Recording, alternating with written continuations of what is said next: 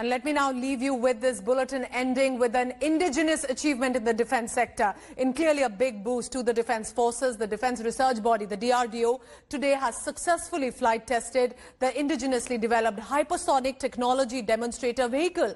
The state-of-the-art uh, launch vehicle is expected to power futuristic long-range missile systems and aerial platform of India.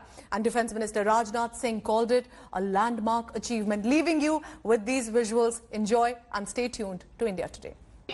Five, four, three, two, one. Now, plus one, plus two, and counting up. Particle taken off. Page down confirmed. Hello everyone, this is Rahul Kanwal here. Hope you enjoyed this video. For the latest news and analysis, like and subscribe the India Today YouTube channel and don't forget to press the bell icon to stay updated.